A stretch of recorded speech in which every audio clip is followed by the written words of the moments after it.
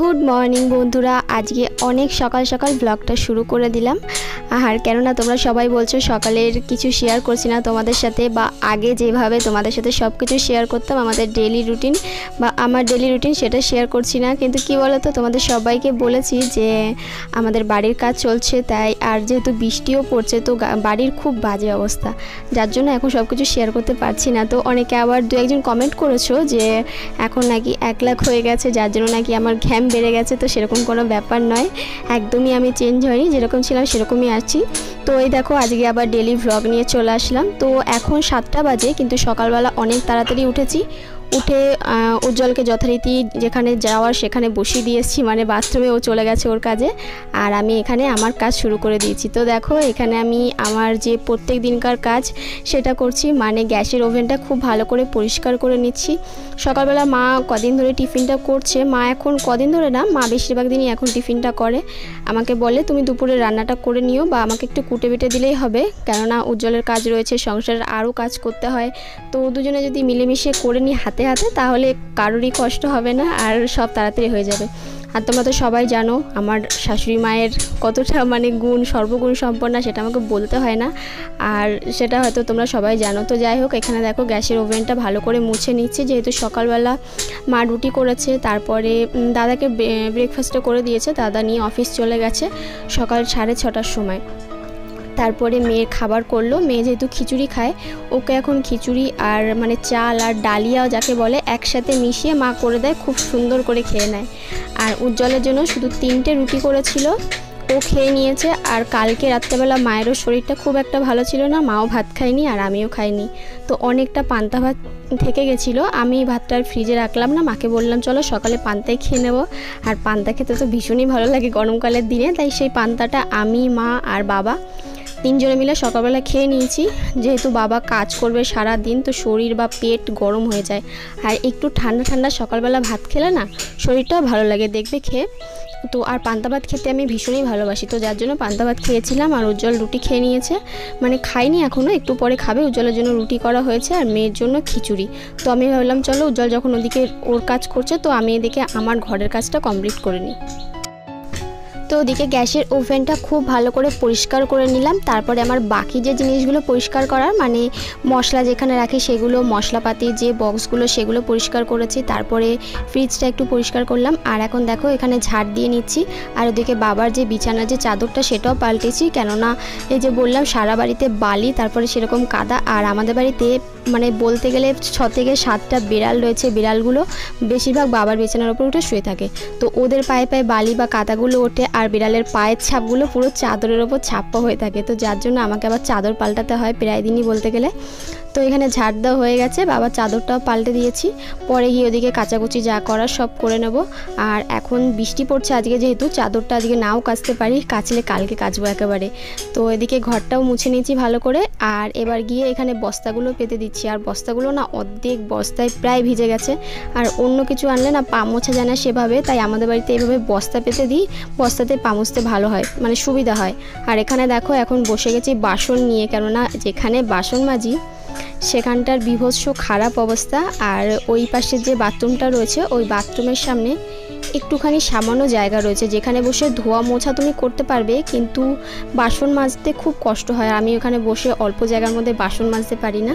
তাই এখানে সমস্ত বাসনগুলো নিয়ে অল্প একটু জল নিয়েছি, নিয়ে এখানে সব বাসনগুলো এখানেই মেজে নেব। মেজে নিয়ে তারপরে যেখানে ধোয়ার মানে ওই পাশে যে বাথরুমটা রয়েছে, ওই বাথরুমের সামনে একটু যে ফাঁকা জায়গা রয়েছে ফাঁকা জায়গাটায় গিয়ে আমি বালতিতে করে জল দিয়ে বাসনগুলো সব পরিষ্কার করে নেব। তো এখানে বসে ওই জন্য বাসনগুলো মেজে নিচ্ছি। তো চলো বাসনগুলো পরিষ্কার করে নিই।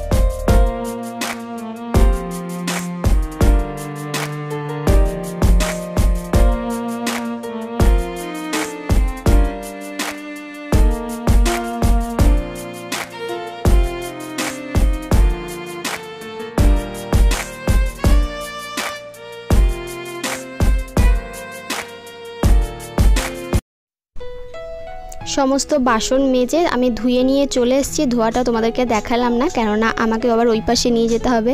আর ওই পাশে আমাদের ঘরের কাজ হচ্ছে, জাস্ট সামান্য একটুখানি পা রাখার জায়গা আছে, সেখানে বসে দাঁড়িয়ে দাঁড়িয়ে বাসনগুলো ধুতে হবে। তো ওইভাবেই বাসনগুলো ধুয়ে নিয়ে চলে আসলাম। আর এবার বাসনগুলো গুছিয়ে রাখছি। তো এটা একটা বাসন রাখার জায়গা, যেটা তোমাদেরকে দেখিয়েছিলাম। দিদি দিয়ে গেছে মানে বর্দি ভাই দিয়ে গেছিল। তো সেটার মধ্যে আমি এখন বাসন রাখছি। মা আগের দিন পরিষ্কার করে ধুয়ে দিয়েছে। আর মা দেখো, এইমাত্র ওইদের বাজার থেকে আসলো। বাজার থেকে এসে এখন যাচ্ছে স্নান করতে। মাকে বললাম, যাও, কিছু করতে হবে না। আগে গিয়ে ফ্রেশ হয়ে স্নান করে আসো, ভালো করে। তারপরে কেননা এখন বাইরে গেলে এসে আগে স্নান করা দরকার। তো স্নান করে আসো, তারপরে বাকি কাজ আমি করে নিচ্ছি। আর মেয়েকে একটু ধরলেই হবে, কেননা মেয়েটা এখন ইদানিং এত দুষ্টুমি করছে, তো মা ওকে নিয়ে ধরে থাকে আর আমি বাকি কাজগুলো করে নিই। তো এখানে দেখো আমি বাসনগুলো গুছিয়ে নিয়েছি, আর এইভাবে রেখেছি এখানে কাপ এটার ঝুড়িটার মধ্যে বাটি রেখেছি, আর এই পাশে কয়েকটা গামলা রয়েছে, আর এখানে থালা রয়েছে। তো যেটা দরকার শুধু সেই বাসনগুলোই রেখেছি, কেননা ঘরের তো জানোই নোংরা অবস্থা, তো সব বাসন, এত বাসন মাজা সম্ভব নয়, কেননা অনেকটা দূরে গিয়ে বাসন মাজতে হয়। কলপাট তো আমাদের ভেঙে দিয়েছে, তো যার জন্য যেটা দরকার সেটাই বাইরে রেখেছি, আর যেটা দরকার নয় সেগুলো আবার মায়ের ঘরে গিয়ে জমা করে রেখে এসেছি। যখন ঘর ঠিক হবে আবার সব বাসন বের করে নেব। তো বাসনগুলো গুছিয়ে রাখলাম, আর এবার এবার উঠোনটা ঝাড় দিয়ে এবার পরিষ্কার করে নিচ্ছি। আর সকালবেলা এক পশলা বৃষ্টি অলরেডি হয়ে গেছে, যার জন্য তোমরা হয়তো বুঝতে পারছ? উঠোনটা পুরো একদম কাদায় ভর্তি হয়ে গেছে। আর যেহেতু বালি, সিমেন্ট এগুলো সব মাখানো হচ্ছে আমাদের নতুন ঘরের বারান্দায়, তো আমরা যখন ওই বাসের বাথরুমটা যাচ্ছি তখন ওখান থেকে বালি, সিমেন্ট পাড়িয়ে পাড়িয়ে যেতে হচ্ছে। যার জন্য ওই পায়ে পায়ে এসে বালি, সিমেন্ট, আবার উঠোনেও জড়ো হচ্ছে। ওই জন্য আরও বেশি সমস্যা হচ্ছে। তো আমি যার জন্য মুছে নিচ্ছি, তো একবার মুছলে হয় না, চার থেকে পাঁচবার দিনের মধ্যে একবার আমি, একবার মা, একবার আমি, একবার মা। মানে এইভাবে সারাদিন করতে রয়েছি যাতে পায়ে বালি না লাগে আর ঘরের মধ্যে বালি না চলে আসে। তো উঠোনটা ঝাড় দিয়ে নিয়েছি, ঝাড় দিয়ে এবার ভালো করে পরিষ্কার করে নিচ্ছি। যেহেতু কাদা কাচর থাকলে না পায়ে পায়ে পুরো ঘরে চলে যায় আর ভীষণই খারাপ লাগে। আর মেয়েটাও মাঝে মাঝে চলে আসে। ওকে তাও বেশি খুব একটা আসতে দিই না, কেননা বাইরে কাদা হয়ে রয়েছে, তো আর বৃষ্টি বর্ষায় জল কাদা বেশি ঘাটলে শরীর খারাপ হওয়ার সম্ভাবনা থাকে, যার জন্য এখন বেশিরভাগ ঘরেই থাকে। ঘরে বসে হয় ঠাম্মির সাথে, নয় বাবার সাথে, নয় তো দাদুর সাথে, তিনজনের সাথে, একজনের সাথে খেলা করে। আর বাবাকে এখন খুব একটা বেশি পায় না মানে দাদুকে। যেহেতু বাবা কাজ করছে এখন ঘরের কাজ, তো যার জন্য বাবার কাছে একমাত্র, যখন সন্ধ্যাবেলা সমস্ত কাজ কমপ্লিট হয়ে যায়, তখন বাবার সাথে গিয়ে খেলা করে। আর এখানে মাও স্নান করে চলে এসছে। মা এখন জামা কাপড়গুলো মেলে দিচ্ছে, যেগুলো বাকি রয়েছে। আর আরও খানিকটা রয়েছে বাকি, যেগুলো আমি পরে কেচে তারপরে মেলবো।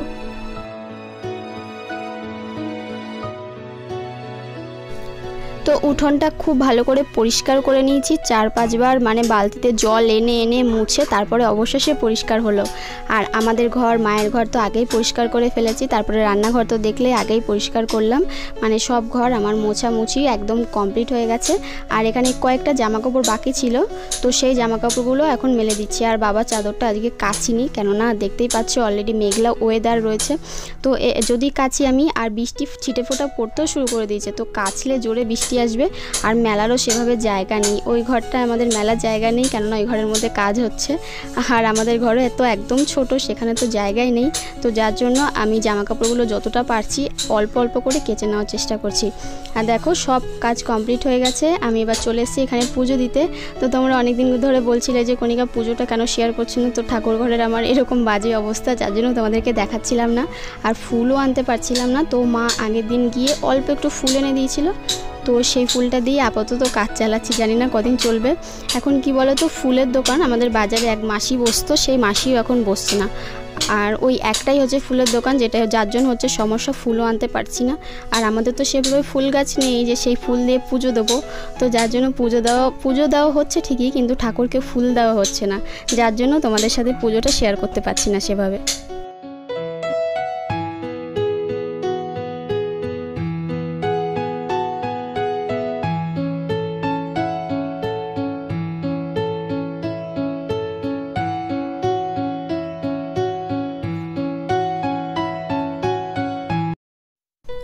পুজো দেওয়া সেরে সোজা চলে এসেছি রান্নাঘরে। আর এখানে দেখো আয়ুষ্মিতার আর উজ্জ্বলের খাবারটাকে বেড়ে নিচ্ছি। বাবা সকালবেলা খেয়ে কাজে লেগে পড়েছে, কেননা বাবা আটটার মধ্যে খেয়ে নেয় আর আটটার থেকে কাজে লেগে পড়ে। তো এখানে আয়ুষ্মিতার খাবারটা নিচ্ছি আর এটা এখানে দেওয়া রয়েছে খাবারের মধ্যে পুঁই শাক দিয়েছে মা, এর মধ্যে আলু দিয়েছে, সয়াবিন দিয়েছে, তারপরে যদি ছোলা থাকে ছোলাও দিয়ে দেয় মাঝে মধ্যে। আর এটা দিয়েই করে আর এখানে চাল, ডাল আর এর মধ্যে ডালিয়া রয়েছে। আর একটা ডিম সেদ্ধ, আর মাঝে মাঝে ঘি দিয়েও দিয়ে আবার মাঝে মাঝে মাঝে একটু বাটার দিয়েও দিয়ে থাকি। তো এইটা দিয়ে দিলে ও খেয়ে নেয়। আর এখানে মা সকালবেলা করেছিল সয়াবিন আর আলু দিয়ে। একদম শুকনো শুকনো মাখা মাখা তরকারি মানে এর মধ্যে কোনো কিছু নেই, জলের কোনো অংশ নেই, কিন্তু ভীষণ ভালো হয়েছিল খেতে। সমস্ত মশলা দিয়ে ভালো করে কষে সয়াবিনটা আগে থেকে সেদ্ধ করে নিয়েছিল, আর আলুটা এত ছোট ছোট করে কেটেছিল যে আলুটাও তাড়াতাড়ি সেদ্ধ হয়ে গেছিল। তো এইভাবে সমস্ত মশলা দিয়ে তরকারিটা করেছিল। আর তার সাথে তিনটে চারটে রুটি করেছিল উজ্জ্বলের জন্য। যেহেতু আমি বারণ করেছি আমার জন্য রুটি না করতে। কালকে রাতে ভাত খাওয়া হয়নি, তো সেই ভাতটা খাব। পেঁয়াজ, কাঁচা লঙ্কা এইসব দিয়ে। আর একটু সবজি তরকারি রয়েছে মানে সয়াবিনের তরকারি। সেটা দিয়ে আমি আর মা দুজনে মিলে খেয়ে নেব। গুড মর্নিং বন্ধুরা, কেমন আছো তোমরা সবাই? আশা করছি সবাই ভালো আছো, সুস্থ আছো। আর তোমাদের সবাইকে মাই সিম্পল লাইফস্টাইলে অনেক স্বাগত জানাচ্ছি। আর এখন বাজে চলেছে প্রায় সকাল সাড়ে এগারোটা, তো সকাল থেকে অনেক কাজ করলাম। করে এখন স্নান করে পুজো দিয়ে এসে ভাবলাম, চলো তোমাদের সাথে একটুখানি কথা বলে নি কেননা আবার মেয়েকে স্নান করাতে হবে, তারপরে আরও কাজ আছে। কাজের শেষ নেই, ওকে খাওয়াবো, তারপরে দুপুরে রান্না বান্না আবার করব। বাবা ওদিকে কাজ করছে, আমাদের বাথরুমের যে কাজটা বাকি ছিল, সেই কাজটা কমপ্লিট হচ্ছে। ওটা এখনও করতে তিন চার দিন সময় লাগবে। তারপরে আবার ঘরের বারান্দা হবে ঘরের নিজের প্লাস্টার নিচের প্লাস্টারটা হবে। প্লাস্টার বলতো এটাতে? মেঝে। ও প্লাস্টার হয়ে গেছে, মেঝে হবে। আর তারপরে রং হবে, আর তারপরে আমরা গৃহপ্রবেশ করব। তো এখনও অনেকদিন সময়। আর ঘর দৌড়ের যে অবস্থা, বিভৎস নোংরা। মানে এক পা বাইরে দিলে, আর এক পা যদি ভেতরে দিই, পুরো বালি বিছানায়। মানে ওই দেখো, ডাকছে। জেঠুর ঘরে গেছে, ঠাম্মির সাথে আয়ুষ্মিতা আমাকে মামা করে ডাকছে। তো চলো, বেশি কথা বলছি না। মা সকালবেলা বাজারে গেছিল, বাজার থেকে কিছু বাজার টাজার করে এনেছে, অল্প কিছু কাছের বাজারে গেছিল। তো অনেকদিন ধরে মারও ইচ্ছা করছিল, দাদাও বলছিল, আমিও বলছিলাম, একটুখানি ভোলা মাছ খাব। মানে আমাদের এখানে কি বলতো, জ্যান্ত মাছটার দামটা একটু কম। কিন্তু ওই যে অন্য যে মাছগুলো, যে সামুদ্রিক মাছ, সেই মাছগুলোর দামটা অনেক বেশি। তো অনেকদিন ধরে ভোলা মাছ খেতে ইচ্ছা করছিল, যার জন্য মা নিয়ে আসলো। আজকে ভোলা মাছ খুব বেশি আনেনি, অল্প এনেছে। ওই ধরো একবেলা আমরা এবেলা খাব ওবেলা হয়তো মেয়ের জন্য একটা থাকবে। আর তার সাথে টকের ডাল করব, মাকে বলেছিলাম, আমরা আনতে সেদিন যে আমরা তোমাদেরকে দেখালাম, সেই আমরাটা দিয়ে এখনও অব্দি কিছু করা হয়নি, ওটা ওভাবেই রয়েছে। তো কালকে আমি রান্না করতে করতে কেটে রেখেছিলাম। তো ভাবলাম, চলো ওটা দিয়ে ডাল করি আর তার সাথে মায়ের ভুলা মাছের ঝালটা করব। তো চলো বেশি দেরি করছি না মাছটা আবার পরিষ্কার করতে হবে। রান্নাঘরে গিয়ে তোমাদের সাথে কথা বলছি। তো চলে আসলাম রান্নাঘরে, আর এখানে রয়েছে ভোলা মাছ আয়স্মিতা বিড়াল দেখে চেঁচাচ্ছে। ভোলা মাছ, এখানে পাঁচশো ভোলা মাছ রয়েছে, আর আজ আজকে রান্না করব তোমাদেরকে যে বললাম, আমরা দিয়ে ডাল, মুসুরির ডাল। তো আমরাগুলো এভাবে ছোট ছোট করে কেটে নিয়েছিলাম। কালকে আমি একবার ধুয়ে রেখেছি, কিন্তু আজকে আবার একবার ধুয়ে নিলাম। তো আমরাটাকে একেবারে ডালের মধ্যে দেবো, দিয়ে একটা সিটি দিয়ে নেব।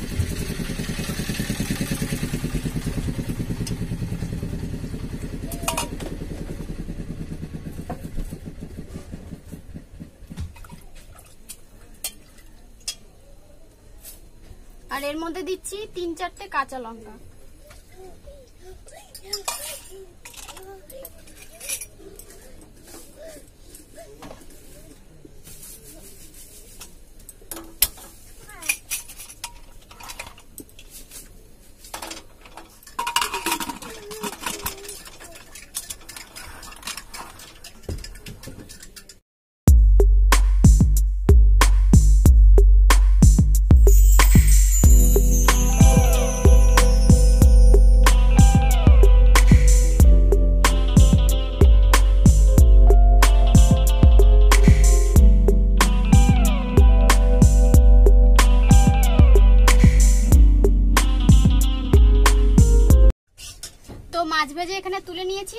দেবো, এর মধ্যে তেলের মধ্যে একটুখানি কালো জিরে।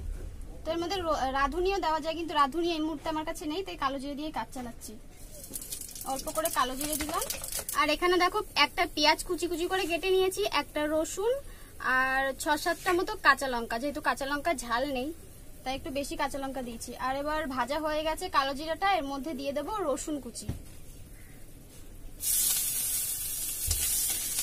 এবার এর মধ্যে আমি দিয়ে দেবো পেঁয়াজ।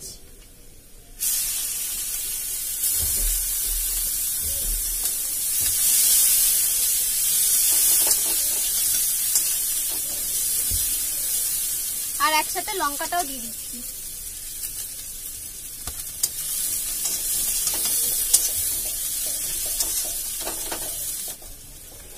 এবার দেবো একটুখানি নুন।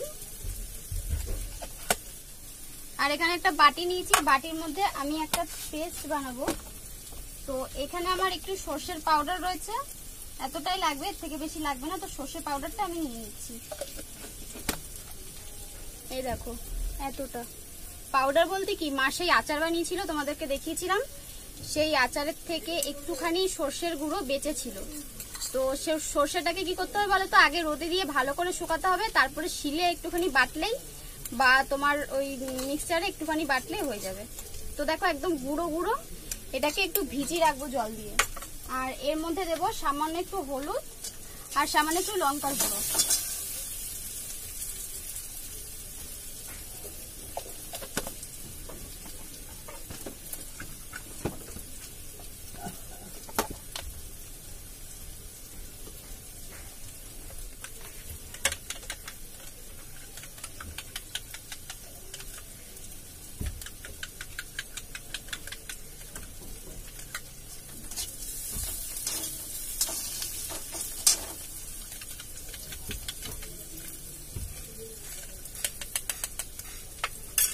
এখানে পেঁয়াজটা ভাজা ভাজা হয়ে গেছে। এবার এই যেটা গুলে রেখেছি, এটা আমি দিয়ে দেবো।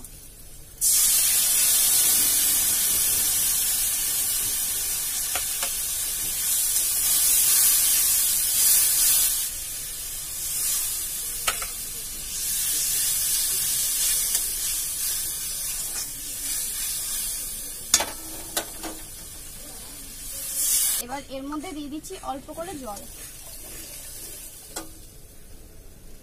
একেবারে এর মধ্যে ভাজা যে মাছগুলো মাছগুলো একটু কড়া করে ভেজে নিয়েছি।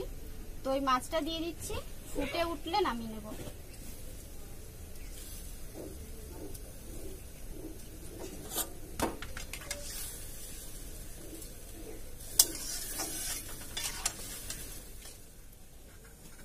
তো আজকের রান্না আমার কমপ্লিট হয়ে গেছে। এই যে ভোড়া মাছের ঝাল, হালকা পাতলা, খুব বেশি মশলাপাতি দিইনি। আর এখানে রয়েছে ডাল। আমরা দিয়ে টক ডাল। উফ, বাপরে বাপ ফাইনালি রান্না কমপ্লিট হলো। আর এই যে চিটেপোটা বৃষ্টি হয় না চিটেপোটা বৃষ্টি হলে বেশি গরম লাগে। পুরো একদম দেখো ওড়না টন্না ঘাম মুছতে মুছতে ওড়না আমার ভিজে গেছে। আর আইসমিতা? গরম বিশাল গরম। এখানে বই নিয়ে বসে ইংলিশে ওর ওর যা ইচ্ছা হচ্ছে তাই পড়ছে। ওর মতো ও পড়ছে। এতক্ষণ বাবার সাথে পড়েছে এই স্নান করে আসলো। এবার আবার পড়তে গেলে ওর আবার রসুন নিয়ে হবে। রসুন লাগে এক ঝুড়ি রসুন এই ঝুড়িটা দাদার ঘরে গেলে নিয়ে যাবে। আমাদের ঘরে আসলে নিয়ে আসবে মায়ের ঘরে বাবার ঘরে। মানে তিনটে চারটে জায়গায় পুরো রসুনের খোসা মা ঝাড় দিয়ে দিয়ে পারছে না তার সাথে আমি ওইটা ফোর ওইটা ফোর এইটা এই যে ফোর। এইটা ফাইভ এটা সিক্স এইটা সেভেন এটা সেভেন এটা এইট তারপরে নাইন কোনটা? হাততালি হাততালি হাততালি। এই তোমরা হাততালি দাও তোমরা হাততালি হাততালি দাও দাও ও কি সুন্দর যদি পড়াশোনা করে বলবে কি আমাকে হাততালি দিয়ে ওকে একটু উৎসাহিত করতে হবে। এটা নাইন ওয়ান না নাইন এবার। টেন ইলেভেন টুয়েলভ বাবা। আমাকে হাত দিতে দেবে না। ও একা একা পড়বে। ওটা নাইন। হ্যাঁ এই তো। ইলেভেন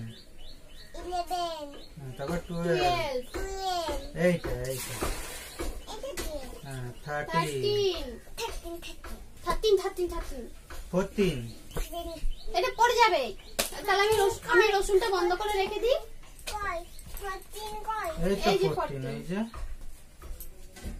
ওরে বাবা রে ফোরটিন কে পিটান দিল হয়ে ফোরটিন কে একটা পিটান দিল। ফিফটিন কোথায়? এই যে ফিফটিন ফিফটিনে লাগবে তো। আয়ুষিতা ভালো করে। পেঁয়াজ গনে ওয়ান টু থ্রি ফোর আলু গনে। মানে ওই খেলার ছলে আর রান্না করার ছলে ও আস্তে আস্তে শিখে যাচ্ছে সবকিছু। এখন বেশ অনেক কিছুই পারে। তো একটু একটু পড়াই খুব বেশি একটা পড়াই না, কেননা এখনও তো অনেক ছোট। তো মাথায় বেশি প্রেশার দিয়ে লাভ নেই। আর মাথায় যত প্রেশার দেবে, তত দেখবে ও পড়াশোনাটাকে ভয় পাবে। সমস্ত বাচ্চারাই। ও নিজে খেলতে খেলতে শিখছে। আমার দিদির ছিল যেরকম খেলতে খেলতে শিখতো ওর একটা আগ্রহী ছিল যেরকম কোন জিনিস। ধরো আলু দেখেছে যখন আলু চিনতো বাংলায় আলু ইংলিশে কি বলে? পটাটো। এরকম ও নিজে নিজে জিজ্ঞাসা করে পড়তো। ওর মামি এটা কি? মামা এটা কি? ওর মামি সেই স্কিলটা আছে। হ্যাঁ ও জিজ্ঞাসা করে হাতা খুন্তি সব হাড়ি কড়াই যা পাবে। ও বেশিরভাগই রান্নার জিনিস নিয়ে বলতে শুরু করে। এটা কি মা? এটা কি বাবা? ঠাম্মি এটা কি? ও মা এটা কি ইংলিশে কি বলে? সব। দেখো দেখো গেল গেল। ঝুড়িটা আমার পুরো ভেঙে যাবে। এখনও রসুন গোড়ার গোনার টাইম রসুনগুলো গুনবে আর ছাড়াবে বসে বসে। কালকে আমি রান্না করতে গেছি কি করছে বলতো? একটা গ্লাস নিয়েছে ঠিক আছে? একটা একটা করে রসুন ছাড়াচ্ছে আর একটা একটা করে গুনে গুনে আমাকে দিচ্ছে। বলছে মা তুমি রসুনটা গ্লাসের মধ্যে রেখে দাও। কটা গোনো হবে না? ও আগে সাজিয়ে নিচ্ছে। দেখো হাতে সাজাচ্ছে। এবার গোনো এবার গোনো কটা? One two, three, four, five, very good ওই তিনটেই গুনলো ঘুরিয়ে ফিরিয়ে নাইন টেন তিনটেই গণ্য তিনটাই গুনলো বোঝে না? তোমার মা কত ভালো কত বোঝে। তো চলো বিশাল বিভৎস পরিমাণে গরম পড়েছে। আজকের ব্লগটা বেশি বড় করছি না। আটকাতে দেবে না। তো এইখানেই ছোটর মধ্যে শেষ করছি। তোমরা সবাই ভালো থেকো সুস্থ দেখো আজকের মতো। টাটা। টাটা বাবা টাটা দাও টাটা টাটা দাও টাটা দাও। টাটা।